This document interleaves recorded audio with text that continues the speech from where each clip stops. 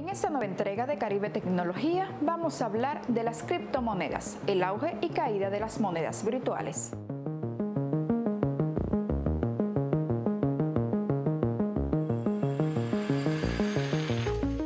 Las monedas virtuales estaban en pleno auge y tras años de escepticismo finalmente comenzaban a ganar credibilidad.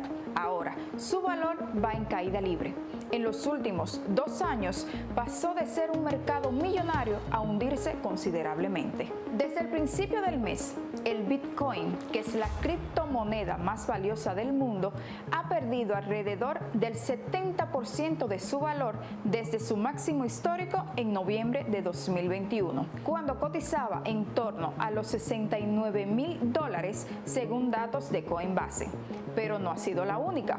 Ethereum, la segunda moneda virtual más valiosa, ha perdido alrededor del 75% de su valor. El mundo de las criptomonedas sigue desplomándose después del complicado inicio de mes que experimentó por el bloqueo de retiros y transacciones en Binance y Celsius, dos de las plataformas de intercambio de criptomonedas más importantes. La inestabilidad se debe al cripto invierno, la crisis que golpeó al mercado desde inicio de mayo y de la cual no logra recuperarse. El cripto invierno es un concepto que se refiere a la baja sostenida en el precio de las criptomonedas, o dicho de otra manera, se enfría su precio.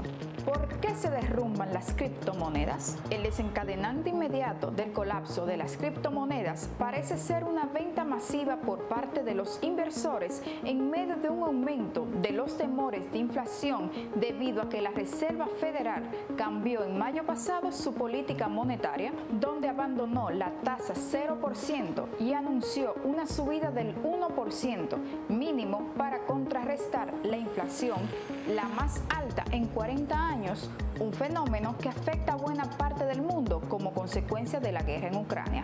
Asimismo, los expertos sostienen que la caída del precio de las criptomonedas indica una disminución del apetito por el riesgo de los inversores quienes desconfían de los activos de riesgo.